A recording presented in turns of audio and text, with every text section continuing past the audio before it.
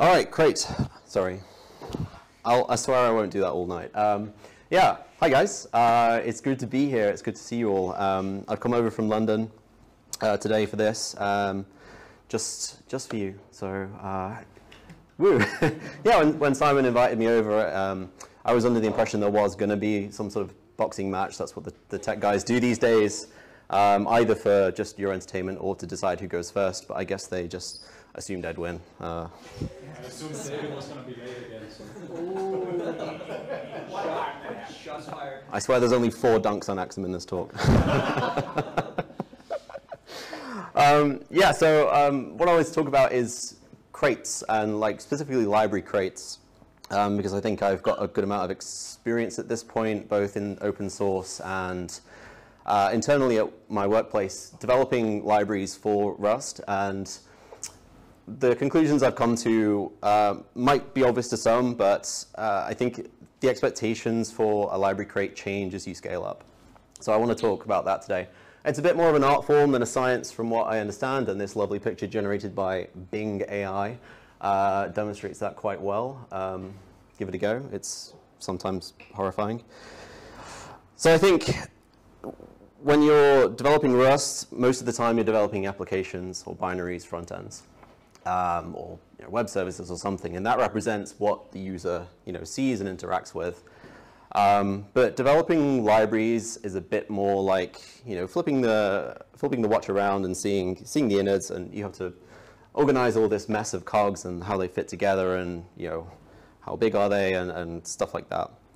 Um, so why me? Why can I talk about this? Well. Um, yeah, I've got a, a, few crates that I own, and you know, not to brag, but TinyMap has 200 downloads a month. Um, some other things you might have heard of, uh, these crates.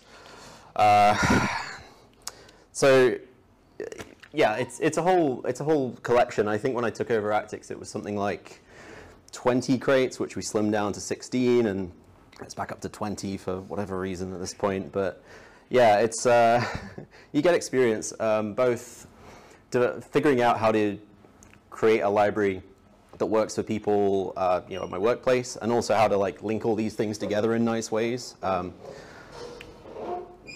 um, I think crates are really like a, a cool like cargo, right? Who likes cargo? Isn't that a good tool? Right, it's probably one of the best parts of Rust. Like the tooling is just phenomenal. Um, being a separate tool, uh, a separate um, thing from the Rust compiler is probably something that gets lost because it's so easy to use and the front end is just, uh, it's, it's, the only thing you interact with basically. Um, it's doing a lot of heavy lifting though. Like when you run cargo, cargo run, it's, it's, it's doing this like crazy thing which you can see by passing like verbose flags into cargo build and um, that's just like the minimal. This is an empty like basic uh, target. When you add in dependencies, it's doing all this. But um, if we zoom in on a little bit of the, the bottom part here, these extern uh, arguments here, these are all your dependencies.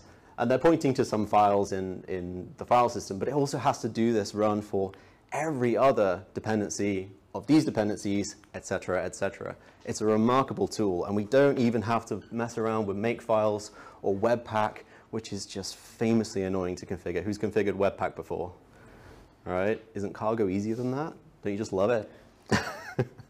um, I think to also say, like, maintaining a Rust library uh, in the open source world is very, very much easier than trying to maintain a bunch of make files for C targets and stuff like that. Just because Cargo is nice, and the ecosystem we built around Cargo is nice. Crates.io, uh, docs.rs. It's a beautiful place to work. Um, one of the big wins that we get for free with Cargo is semantic versioning. And I think Cargo has a slightly different flavor to the official uh, spec, but um, let's say you've just created a library. You need to start following semantic versioning immediately. Always, always, always, always. Um, because it matters. Like Cargo assumes that this is how, how you're doing it. Uh, a quick primer, I mean, from left to right, major, minor patch versions. Um, and again, like Rust itself, Cargo itself, and most libraries on Crates.io do this. They adhere to it. Um, the ones that don't which I've seen, we shout at them uh, because when we run cargo update, everything breaks and we say, you can't just match your versions with your equivalent Java libraries. I'm sorry, it doesn't work like that here. Uh, insert Chadwick Boseman meme. I can't believe I didn't think of that. um, something that gets lost a little bit actually is that the version that you put inside your cargo manifest is not a version, it's a minimum version requirement. And that has some implications on what versions are compatible with that requirement, which we'll talk about in a sec. Uh, if you're not quite at version 1, which um, most crates aren't, the Semver versions are kind of shifted to the right, depending on how many zeros there are between these versions. So bumping Semver, like one of the beautiful things is that you can really understand between two versions what the changes are between those two versions. If there's only a patch difference, it's probably just bug fixes or doc updates or some boring stuff that you just need a new version for. If, um, if there's a minor bump, there's probably something new in the API that you might care about. Um, myself, when I run cargo update, I look through the list and have a look for minor versions and go check out the changelog, see what's new. It might be, uh, might be some cool stuff that you, um, that you can use. If you're bumping the major version, what you're indicating is that there's some manual intervention needed. Like cargo update won't break things for you, even if there's like a higher version. And uh, yeah, so we can have a, a, little quick quiz here, and the format of this is on the left there'll be the version requirement, on the right, there'll be a version, and the question is, is that version compatible with the requirement? So, question one, hands up for it's compatible, basically. Yeah, of course it is. Uh, what about this one? Also, yes, good. Guys at the back, come on. Uh, so this guy, yep, minor versions can be bumped when it's version one, of course. Great. Uh, this, no hands, beautiful. Great. Uh, what about this guy? These compatible? No, no hands, good. Uh, what about this one? We talked a little bit about pre pre V1 stuff. Um, so actually, no, this is this is not. So this is what we mean by shift uh, shift assembler versions right one. So the uh, ignore the left zeros, and now the uh, the middle numbers are what you care about, and they are different and effectively represent major versions here. Uh, what about this guy? Compatible or no? Tricky one. It looks compatible, but actually it isn't. And to be fair, this doesn't really make too much of a difference because you very rarely see crates this low uh, in versioning. Uh, but yeah, just a little, little got you there. Um, that one's pretty obvious. All right, we haven't talked about pre-release versions, but is this, this compatible? Some, some people racking their brains. No, it is not. Good stuff. Uh, about this guy? Does that surprise anybody? So all pre-release versions are compatible with each other. Um, with our newfound knowledge, what about this one? You guys are loving this quiz, aren't you? Actually, yeah. Um, turns out uh, everything alphanumerically above the version requirement is also compatible, which is a real gotcha if you've got uh, lots of pre-release crates depending on each other, which you know users of the V4 of Actix Web will remember with fright. Uh, that doesn't work. No, no. I'm pr I'm pretty sure it's alpha alphanumeric ordering. Uh, so, what about this one? Going from a pre-release to a stable V1 version. Yes, it is. This gets a lot of people. Um, you don't come across this very often, but there you go. That was a bit of fun. So, all right. Yeah, shoot. How many questions did you get about this when you learn all the previous interactions were? Because I got a lot of questions when I Look. that surprised me the last few. Look, there were some mentions on r slash rust jerk. That's that's how many. um, yeah. Yeah, too many, dude. All right, so we're going to start the journey from I have an idea for a library. I want to publish it in open source land. We have zero downloads. Sad times. Write tests. We all know this, but write tests. And I came across this quote quite recently, actually. Uh, if it's not tested, it's broken. Not it might be broken, it is broken. Assume that. They're always useful, especially given how easy it is to write them and how easy Cargo makes it to run them. Documentation, again, everyone knows this. Just put some basic docs in the root, in the, on the types, on the methods, modules, obvious stuff, right? But if you're coming from another ecosystem, maybe it's not obvious to you that docs.rs grabs all of the crates from crates.io and builds the docs for them. This might be, well, this is definitely very different to a lot of other ecosystems. So if your documentation is crap, you're going to have somebody coming along who's new to the ecosystem or the crate in particular and see just a bunch of type names that mean nothing, right? And along with that kind of examples, this is a great for newcomers especially, but it also gives you a different uh, compile target which can catch things really early. It's kind of like a basic integration test kind of scenario. It emulates the application that consumes your library, which can catch like uh, missing exports and, and stuff like that. CI, if you're open sourcing this, uh, this crate, then basic CI is really easy, easy to add. Especially if you're using GitHub Actions, like this is what, 15 lines of something, and you put it in a file, and GitHub runs it for you. And you know that people, you know, the few people who are using your, your small crate are, you know, do, doing it with some confidence. Um, tiny gotcha, like the, the bottom two lines are necessary because apparently all targets and doc do not work together, which is a bit weird. Basic lints, also great. Um, these are the three that I put in every crate that I start. Um, some upgrade warnings, uh, some uh, add, add new, uh, new errors. Um, I don't think there's any excuse to use non-standard styles, so that always goes in.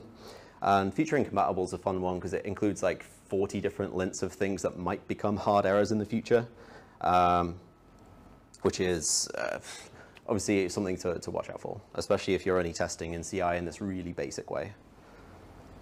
So all right, you've got some users. And now you feel like stepping it up a bit, you know, you've got like 10,000 users, feeling pretty good about yourself. Um, although actually, only 11% of crates on crates.io have reached version one. So it's, it's more like, you know, if you've, if you've reached a version like this, then, uh, you know, maybe you're getting somewhere. Uh, examples of really big crates that haven't reached version one yet, and you know, some, some people are shouting at them to really get there. This, this stuff matters. Like Rand is one of the blessed crates that actually um, is run by the, the Rustlang organization. And even they're not at version one yet. So at this point, you really should be documenting what's changed.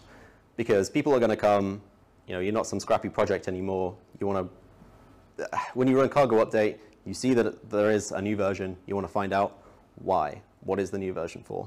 And it doesn't really matter how you do this. Just write it down somehow, like this is ours, and we sort of try and document every new item and every change to every item. Um, it can be, you know, format it however you want. Uh, it doesn't matter as long as it's there. Shoot.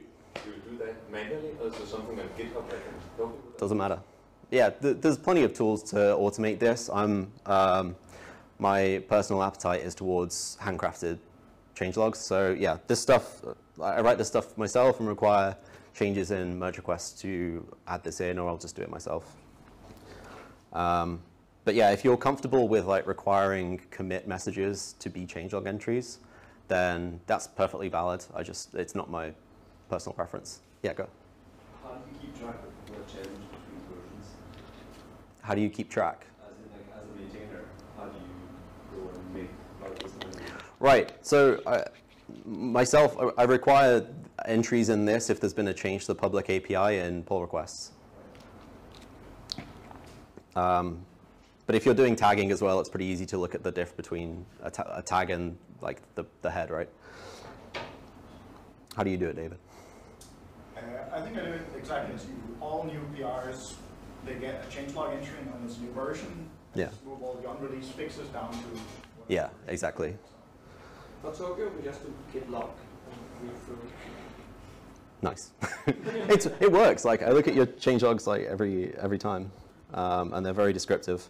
You must require good commit messages. I mean, that's if you can do that, then great. Love it. Well, I, I copy them over and sometimes modify them. Okay, yeah. That's handcrafted. Love it. um, so yeah, more people are using your library now. Um, you need to really consider what dependencies that your library is using, because no man is an island. And the, the dependencies of your crate are called, uh, we're generally called the upstream. And this matters, like the version of the upstream crates might matter to you for some reason. We'll get into that. They might have their own um, like preferences in terms of minimum supported Rust versions, and they definitely have their own dependency, dependency tree that might be bigger or smaller than you'd like. You also have to look at the other side of it, which is the downstream or your consumers. Uh, so we'll get into that. Figuring out what dependencies your crate should have is um, sometimes a bit weird. Like if all else is equal, I think you should just keep the dependency tree as small as possible. This is going to help everybody. This is going to reduce CI times for you, all of your downstream, and all of your like application consumers as well. Um, it's a, there's a frightening number of crates, in my opinion, that use the full fat futures crate, and even if they're just like using the stream trait, which is in futures core and is like dependencyless. If you're past version one, you really shouldn't um, expose pre-version one dependencies, which is a little bit of a sore topic for, for me in particular, because we, we do, but if I had it my way, we wouldn't have done that. Um, and then you've obviously got to think about like ecosystem compatibilities can sometimes be implicit. Um, so things will compile fine, but there might be a, a runtime panic, right? So i these examples of um, async runtimes and also like logging systems, I think these are technically compatible, but um, yeah, there's, there's a lot of examples of this, um, more that I couldn't think of when I was writing it. Minimum supported Rust versions, I mean, this is not at all a controversial topic, right? Who's had to deal with this in the past? Like, is it a breaking change to update your MSRV? It's weird, right? Like, how do you, how do you specify this as a crate author? If you're starting to use some, uh, if you're starting to use some new feature of Rust, how do you express that to your downstream? Because effectively, this is what your crate graph actually looks like. And everything has a version except for the standard library. So you start using something new in, in version 168 and your downstream is using 159, like that's not going to be a good time. They're going to complain about that potentially.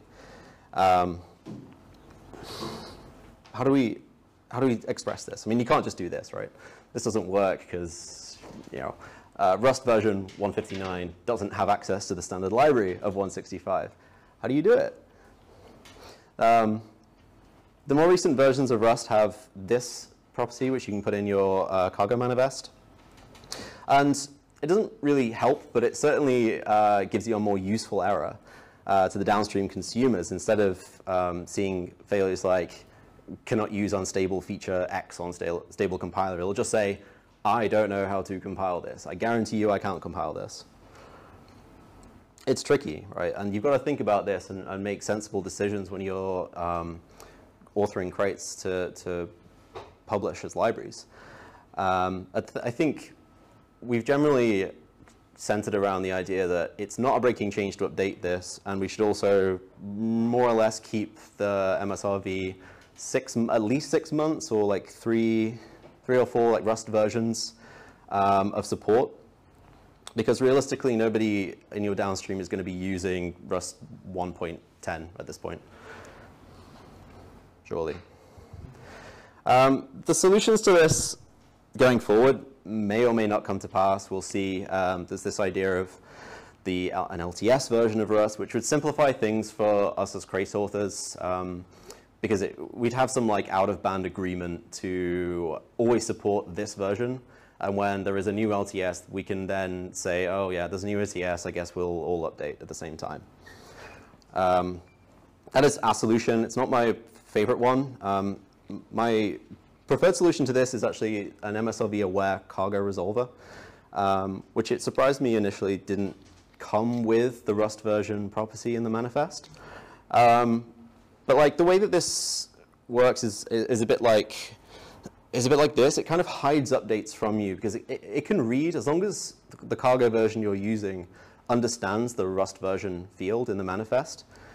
It can understand that it can't compile it, right? So it can also, theoretically, decide to just choose an earlier version. So it's hiding updates from you. Um, I think the reason that this hasn't been implemented from the beginning is that uh, upstream crates might zigzag across the boundary um, and cause downstreams to require like an update anyway. Uh, so it's a, it's a little bit of a, a, funny topic, but there's definitely issues for both of these ideas and work being done to improve this situation. Uh, editions, if you don't know, it's Rust's way of making breaking changes non-breaking by making them opt-in. And they're more or less related to MSRVs um, just because the, uh, the editions have a certain support, uh, min minimum support like version themselves. In general, like I think at this point just use version 2021. Uh, it depends for each edition whether you should update to it or not as a crate author. Um, for a long time, we were all really set on staying on 2018 as long as possible, but most people's MSRVs are now on like 1.60, so there's no point staying there. Uh, and you get a couple of nice things to go with that. So yeah, that's my recommended recommendation. So as your crate grows, you might want to support different things, and that's where feature flags, uh, feature flags come in. Uh, feature flags have a multitude of purposes. They can uh, reduce dependencies in your, uh, in your dependency graph unless downstream crates need them and they can opt in, right? And this is an example from the UUID crate. Uh, so by default, it doesn't require anything apart from the standard library, um, or anything else, I should say. But you can opt in to like the RNG stuff for version 4 and uh, the JS feature for things like WASM support. So is a really great use of feature flags that you might want to start thinking about to reduce that crate um, dependency tree for the, the majority of cases, which will, again, speeds you up, speeds up your downstream. The other use of feature flags is uh, selecting between different um, backends or ecosystems of things, and this is an example from the Redis crate that has an async component, and they endeavor to support uh, both async-std and uh, Tokio as well. Um, but also they have different backends for the, uh, the TLS connection um, part. And this is a really useful technique, and you'll see a lot of, uh, a lot of crates utilize this uh, for, for the reasons we've outlined. In general, like non-additive uh, feature flags are, are problematic. Um, you should try and avoid them if it's all possible. It's really, it can be really hard sometimes, but if you're, um, if you have two features that conflict and cause compile errors, that's a problem. You should try and fix that if possible.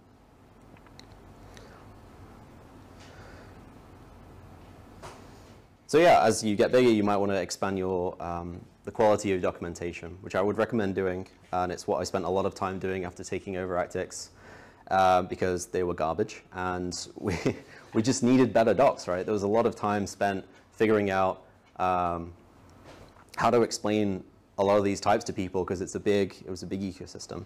One of the things you can do in terms of feature flags to make things easier for people is this handy new uh, auto doc config um, stuff, which generates the documentation on docs.rs in a really nice way so that it shows you exactly for each item in your API what feature you need to enable to get access to it, which is, I'm sure you've encountered this a lot of times and like a lot of the Tokio guys have as well. Because, yeah, you guys are quite conservative with adding features in that, I don't know. I'm thinking about the JSON feature on reqwest. Um, and even then, you might want to require documentation at this point. Um, should, that should say deny. But for myself, I add this in right at the beginning almost, um, or add in the warn and then deny it in CI. Um, keeping the documentation up to date is really important for a, a larger crate, in my opinion. Um, I think we've, we've got a lot of big wins in terms of developer experience from just bolstering that documentation over time.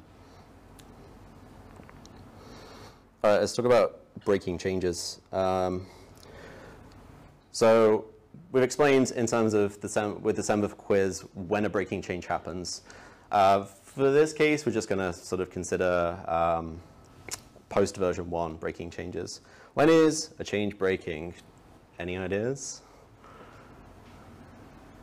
I was looking for literally always. Um, there's always going to be some poor schmuck, right, who's depending on a bug or depending on some like crazy setup.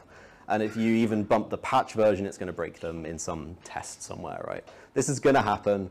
Uh, don't take it to heart. You know, if they file an issue and say your library's garbage, tell them you're holding it wrong, basically.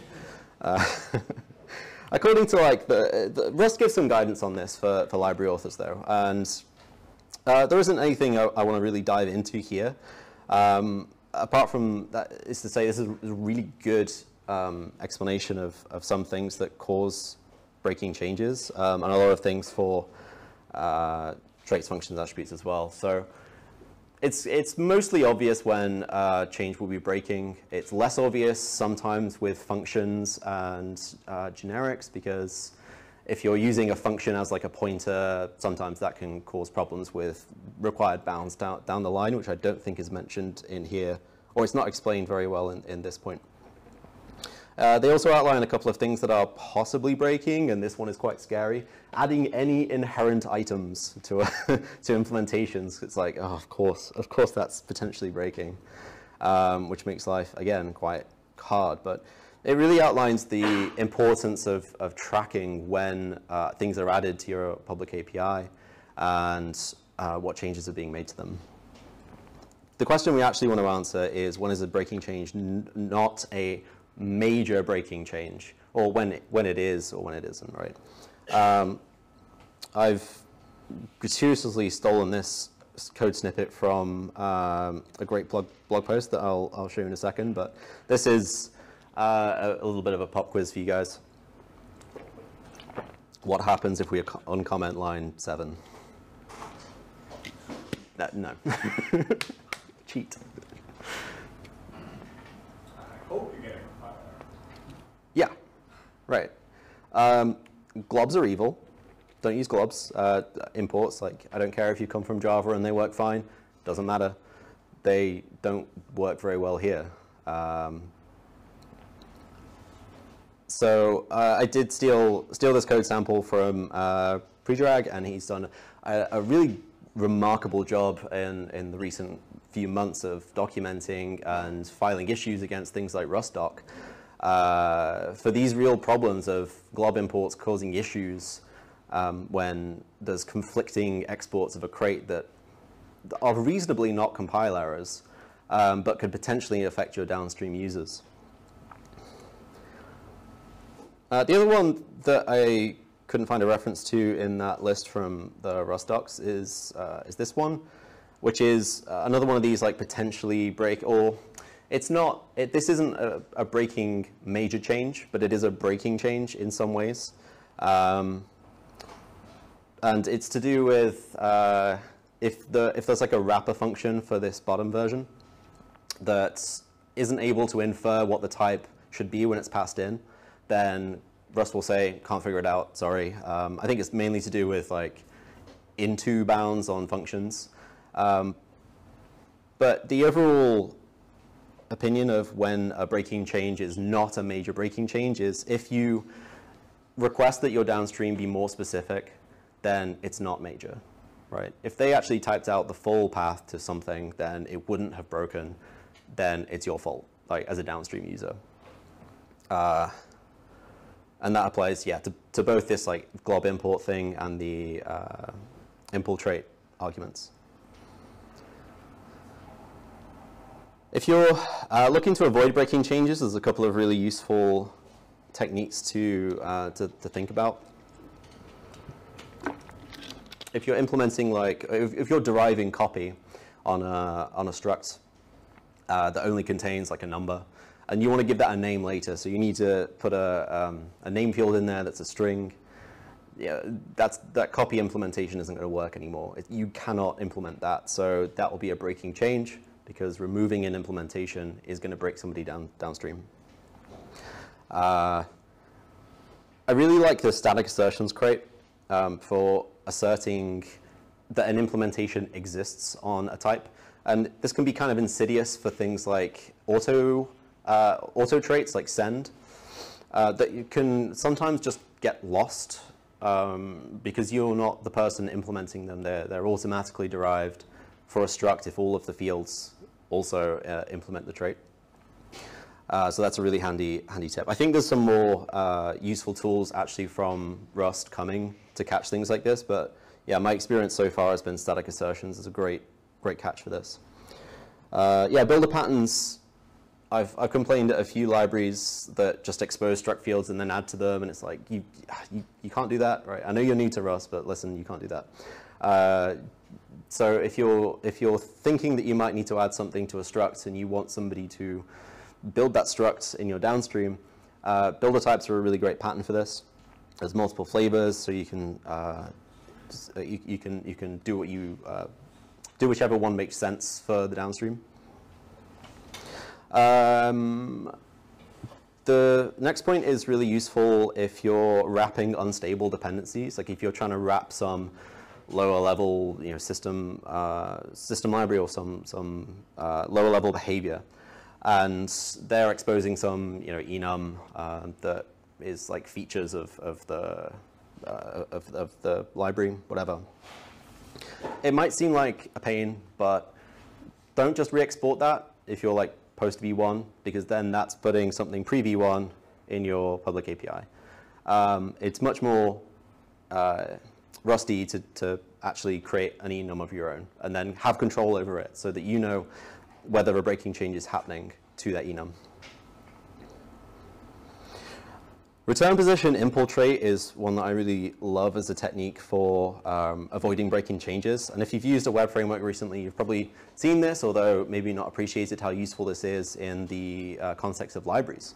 So, um, you know, this is a hello world for ActixWeb, and the handlers are returning an impl responder, which is handy because you don't need to change that in order to just return something else, right? Super good. But in the library context, what we can do is have some implementation uh, method return, instead of a concrete type, you can return this impl trait. And that means that you can change anything about the concrete type underneath it except for what's exposed in the public API, which is this bit. Just that. That's the only thing you need to keep the same. You can add fields, you can, you can remove the lifetime, right? You can add new lifetimes, you can do whatever and it gives you a lot more flexibility. Another area that's coming up or uh, has come up in some senses is um, using this impl trait in uh, associated types on traits. And this is something I've been excited for for a very, very long time because it's going to clean up this kind of stuff, which has always been super horrible to me. Like, look at, look at this type. You know, this is warp level types here. And you can, if, if this just said, I want to return impl something that is, oh, I, I don't know, you know, has these specific parameters, then I can change the outer thing, which is ready here. I can change that to something else if, uh, if I really need to, if I'm adding some new feature to this middleware. And that's not a breaking change. Right now I'm stuck, right? Because if I want to change this, I have to create a new major version of, of ActixWeb, and that's just, um, it's a, it's a handcuff that shouldn't need to exist and is, is becoming better over time. Yeah, if people are relying on you, you should try and automate all the things. So a couple of additional things to put in your CI, especially if you're using GitHub Actions. Um, take that MSRV that you chose and test on it, run the test. It's really easy. Um, it's also a pretty good idea to test on either beta or nightly just for um, future you're looking ahead a little bit. And you can set this to not fail the whole thing if, um, if it fails, because sometimes it will just fail randomly, like especially nightly.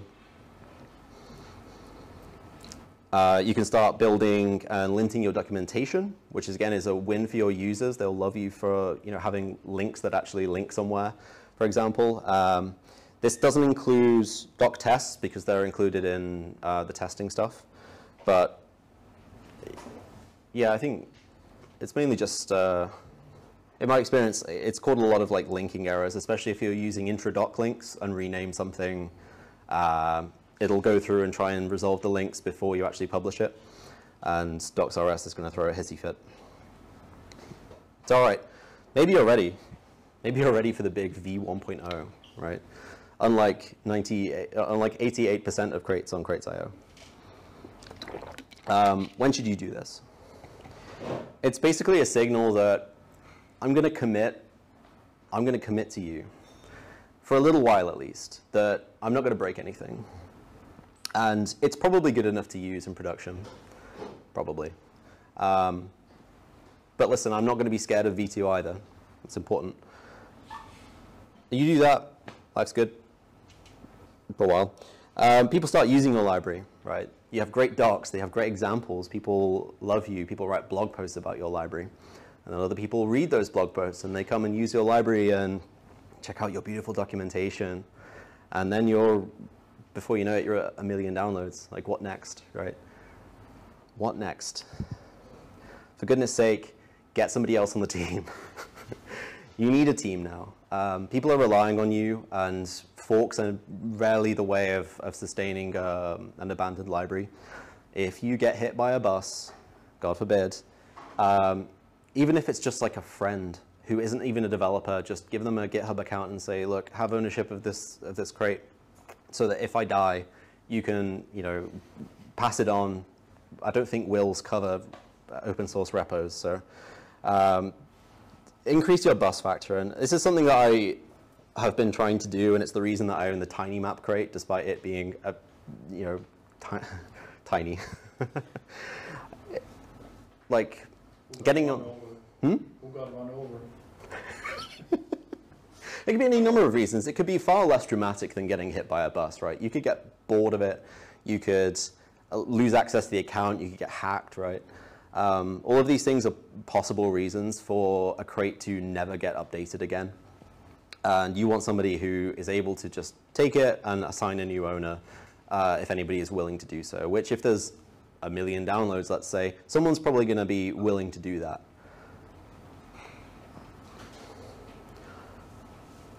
Um, I'm not shilling my GitHub sponsor here, but it's been a fantastic way of, of understanding the support that um, the community around your crates have for it. Um, I think what, what I mean about that is it was really easy to set up. It's not a, a salary, but it does signal that people use it and people care about its existence. And if you're in the same situation, in a position where you need to step away from it, you can then funnel some of that money to them if it's an incentive for them, right? Um, so as you get bigger, as you as you scale scale your uh, community around your your library crate, getting some monetary help is is a really good idea. Maybe you're too big. Maybe you split it up a bit. And like I said, the Actix Web uh, ecosystem of crates was something like 20. So like, why? It could all be one, right? Um, yeah, maybe. Uh, the reasons that you might split a crate up when you get this to this size, parts of it might be useful by itself. So for example, uh, one of the pieces we had was called local, it was like a, a, a non-thread safe channel implementation, which we split out into a crate called local channel. And for various reasons, it just seemed like a really uh, logical thing to split out because it was useful to other people potentially. Uh, smol and the async-std guys are really sort of famous for doing this. They own a frightening number of async prefix crates. Uh, that's fine. They take good care of them. Uh, isolating behavior, I mean, this is pretty self-explanatory, but it's often used to isolate unsafe behavior in particular for auditing reasons. And that can be really important for uh, the trust of your downstream, especially if they're using something like Cargo Geiger to look into their dependency tree for things that have been audited in, in terms of unsafe. Um, reducing compile times for parts that don't need to be rebuilt too often. This is a great strategy. Um, just split that out, have it sit there cached, and then the layers on top of that that you um, have split out can uh, utilize the, um, the, the lower compile times. This is good for you, this is good for your CI, et cetera, et cetera. Um, one of my passion projects a little bit last year was the uh, Actix Web Lab Crate because I was feeling really um, handcuffed by this major version and I wanted to experiment with the, I think it was the redirect responder uh, which would just, I guess, fill in the response with redirect headers and stuff like that. But I didn't really know if the design of the API and the pull request was good, uh, if this was stable enough to put into uh, a really widely used uh, yeah, library. So the lab was a really great place to experiment with that API design in a way that I've done the opposite and promised that it will never be stable. Like I just bump those versions every day almost sometimes.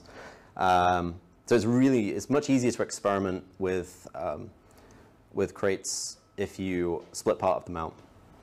Similar to the uh, uh, partial stabilization story, actually. Um, Tokio did this really famously. They got rid of all their like stream implementations and stuff because that would have impacted their public API in a negative way. So Tokio had Tokio Stream, Tokio Util, and these are all pre V1 so that they can experiment, right, until they're happy with the API. And um, Hyper's doing the same thing uh, coming up. So yeah, you split it up, and just to say, like, when you get this big, repos themselves, like workspaces of crates, can become a level of um, encapsulation. So this one contains all of the things to do with HTTP and the other related specs and the application builders and stuff like that. Um, and there's also ActixNet, which contains everything lower than HTTP. Um, it was, it was, this is a great idea, and I think the, the decision of which crates go in which repo is just what is your level of encapsulation? And I guess most projects don't need this many crates to manage. Maybe it's negative for us that we manage so many crates, and I, I think that is partially true, um, especially when you start looking at the combined dependency graph, which does, you, yeah, it's, it's easier to manage uh, these two like smaller units. Um, the other advantage of splitting up crates, right, is that if you make a change to something like, in this example, uh, the Actix service crate on, on the left, then you can immediately see what effects that will have on the, on the upstream uh, internal dependencies immediately. Like CI will start failing. So then you know, oh crap, right, need to, need to fix that, or maybe that's what you want, and you can update these dependencies at the same time. Uh, and then yeah, this other just example of encapsulation is everything above HTTP, the like pre-built blocks for applications uh, the, to reduce boilerplate. Anyway. So like at this point, you, you really want to bolster your CI up to the point where you just can't make mistakes with this stuff. You want to be able to give your downstream assurances that things aren't going to break. And there's a couple of useful tools for doing this. Um, the best one of it, on this list for me is really just Cargo Hack, which is a brilliant tool. Um, but it has this flag feature power set, which will go through every combination of features and try them together uh, without you having to write them all out. Um, so if you're not using features that conflict with each other and cause errors, this is just going to catch a whole host of errors um, for certain sets of features. Um, I'm not sure what the consensus is on Cargo Public API and Cargo Semver checks. Uh, both are having a lot of work done. Uh, but this is a really great way of seeing in CI what's changed without having to figure it out yourself. Other things, when you've gotten big, especially if you're, uh, if, if you're implementing some lower level stuff, is test on all of the platforms that you want to support. And it's really, it's, uh, I missed putting the, the, the, little code snippet in, but it's just as easy as testing on the uh, different versions of Rust, just as easy. Minimal versions also, uh, I wouldn't recommend this check just yet. It's, um, it's really finicky because it will break if any of your upstream does this wrong. Uh, but again, there's like work being done to make sure that the minimal version requirements that you put in your cargo manifest are accurate. As in, you're not using something from a later version and saying, oh, I can use an earlier version, um, which is a bit of a pet peeve of mine, but nobody seems to, it doesn't seem to affect many things in practice because cargo update usually increases versions and not decreases them. And then if you want to get really fancy, you can start looking at like automatic releases, which will just publish things with auto-generated change logs and, and, whatever. This isn't my cup of tea, but I thought I'd put it in um, just so uh, just so you know. I know there's been a lot of work done on, on this project in particular, so yeah, go check it out. Um, And I think that's probably. Oh, this is this slide's a bit weird, isn't it? Um, yeah, that's that's all you need to know about like growing a crate from zero to 10 billion downloads or whatever. Um, so yeah, any any questions about that stuff or anything else really? yes. Oh, That's. Uh, Shoot. Is there any good way to like handle platform like specific crates? uh, sorry. Is there any good way of handling platform-specific Yeah, crates? for example, like if you like take EPO or something, right? Sure. You try to compile this on Mac. Yeah. It's gonna like fail with importing some GPC stuff, right? Yep, I think the uh, the strategy around that is having the specification in the manifest that only compile this on a specific target. Um, pretty sure, right? You guys do a lot more of that than I do, Um, so, like with Mio. I mean, in, in your Cargo.toml, Yeah, you can say like this dependency should only apply if this config combination happens. So you can do config window. yeah, But I, I think you can also do stuff like say if this is not on Windows, then this crate is just empty and compiles. Oh, interesting. Yeah. So you don't get compile errors, but it's just useless. That's a good strategy. So there's a, a- an extension to the manifest format that allows you to scope dependencies to config items, and one of these is what platform you're on, which is a distinct thing from feature flags, uh, which makes it automatic. Like these are eh, feature flags inserted by cargo. Shoot. So as a maintainer of a very popular crate, how do you handle when a competing library overtakes you in stars? Oh man, you just want to Next question. In stars, In GitHub stars. in GitHub stars. I don't know. I guess I'll find out when it happens. Lie to me. They overtook it. They overtook in downloads. Downloads. Yeah, yeah. But that's because How do you they. That's, that's because Tonic uses the ro- the router. I also So copying. Yeah. it's uh, that's called insider trading, my dude. cool. All right. I'm out of here. Any, any non-confrontational questions? Anything Non-confrontational. Non-related to the war between frameworks? Oh, there's one there. Are you making the slides available? Am I making the slides available? Sure. I don't know how. I've never done that before, but okay. Where do people put slides? recording too now. We, we might have a recording. yeah, don't, don't promise anything. Did you to, to Zoom? All right. I guess Rightio. Uh,